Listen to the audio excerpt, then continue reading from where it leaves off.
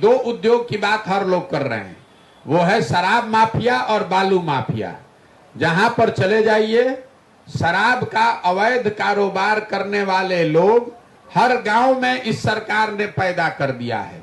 शराबबंदी के नाम पर शराब का दुकान बंद हो गया, लेकिन घर घर होम डिलीवरी चालू हो गया। और शराब के इस कारोबार में नए लड़के लगे हुए हैं और हर गाँव में जो लोग बता रहे हैं लोग मोटरसाइकिल खरीद के इवन युवा युवा के साथ साथ जो लड़कियाँ हैं, वो भी कई गाँव में लोग बताते हैं कि शराब के अवैध कारोबार में लोग लगे हुए हैं।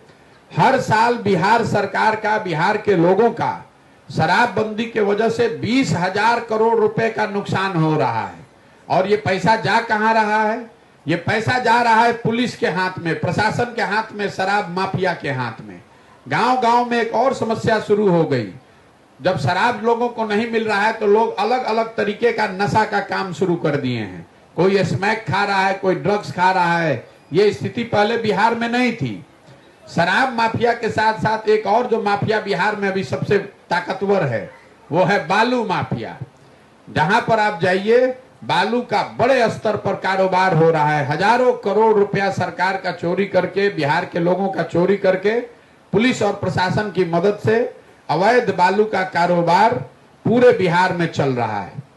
इस पूरे पदयात्रा के दौरान जो लोगों ने तीन सबसे ज़्यादा शब्द मुझे बताए, वो पहला शब्द है अफसरशाही बिहार में लोग अफसरों से परेशान हैं। जहाँ पर जाइए, लोग विधायक को, एमपी को गालिए दे रहा है।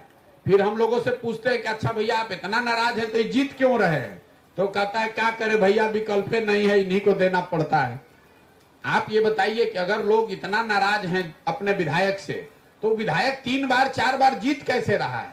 उसको आप ही और हम लोग तो जिता रहे हैं मिलके। तो अगर आप यहाँ पर जो आपके सांसद हैं, उस सांसद के बारे में लोग बता रहे हैं कि लोगों ने चेहरा ही नहीं देखा है। समस्तीपुर, जहाँ से कर्पूरी ठाकुर जी का ये ज़मीन है, पूरे राज्य का नेतृत्व किया समस्तीपुर ने। और आज आपकी दशा ये है समस्तीपुर जिला की कि 10 में से दसों विधायक समस्तीपुर के बाहर का है और दोनों एमपी लोकसभा सदस्य भी समस्तीपुर के बाहर का है। पूरे 35 लाख के आबादी में समस्तीपुर में एक भी काबिल आदमी नहीं है। अगर आप वैशाली के मुजफ्फरपुर आदमी को, के वोट दीजिएगा, उसको क्या मतलब है समस्तीपुर से? आया, वोट लिया, चला गया। आपने वोट दे दिया मोदी जी का चेहरा देख के। आपने वोट दे दिया कि रामविलास पासवान जी का परिवार के इसलिए दे दिए। तो भाई वोट तो आपने अपने काम के लिए दिया नहीं। तो जिस चीज़ के लिए आपने वोट दिया नहीं है, वो होगा कैसे? जिसको आपने वोट दिया है, उसको भी मालूम है कि आप तो काम के लिए नहीं वोट दिए हैं। आप तो हिंदू बन के वोट दिए, आप तो जात के लिए वोट दिए। आपने इसलिए वोट दिया कि उनके बाबूजी लालू प्रसाद यादव जी हैं, कि रामविलास पासवान जी हैं। तो इस अभियान, देखिए, ये पचासों वर्ष से जमी हुई काई है। एक दिन में नहीं सुधरेगी, लेकिन प्रयास किसी को तो करना पड़ेगा। गाँव गाँव घर घर जाकर लोगों को समझाना पड़ेगा।